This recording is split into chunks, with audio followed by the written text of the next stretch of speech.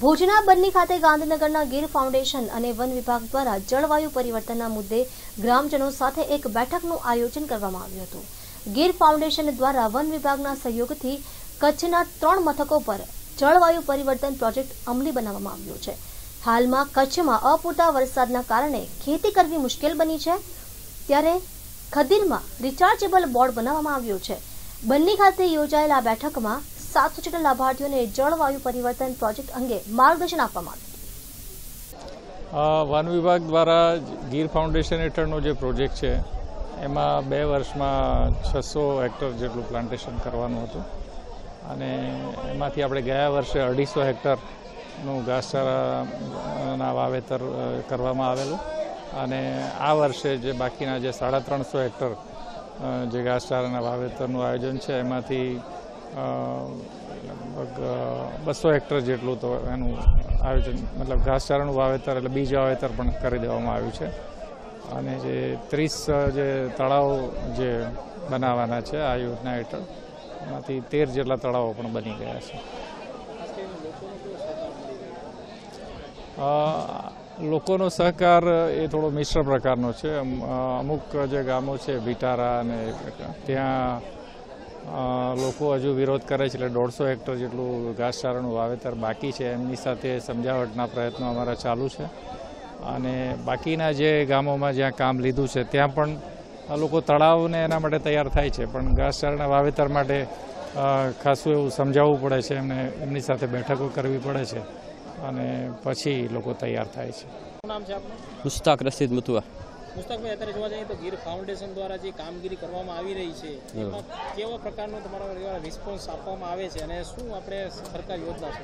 કામગીરીમાં એવું છે ગઈ સાલથી ચાલુ છે એક પ્લોટ બનાવ્યા હતા બીજા તળાવ બનાવ્યા હતા પણ કમનસીબે ગઈ સાલે વરસાદ ન થયો એટલે રિઝલ્ટ સારું ન મળ્યો.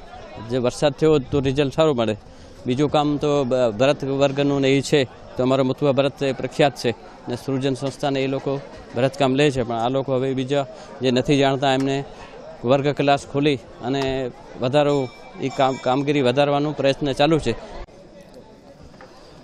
આજ રોજ એનએએફસીસી એટલે national adaptation fund for climate change તલેજો યોજના અહીંયા ચાલી રહી છે.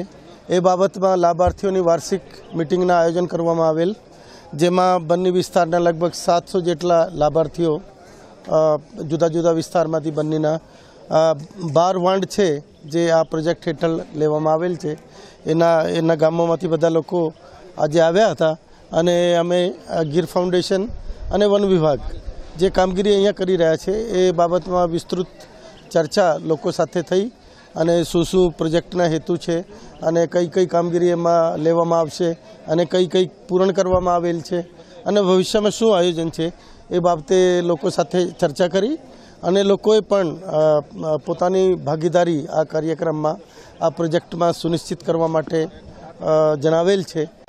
લઈ ખાસ કરીને જોવા જઈએ તો અત્યારે જે ત્રણ જે મથકોમાંથી આપણે કામગીરી ચાલી રહી છે એમાં કેવો રિસ્પોન્સ મળી રહ્યો બધી જગ્યાએ ખૂબ સારો રિસ્પોન્સ છે.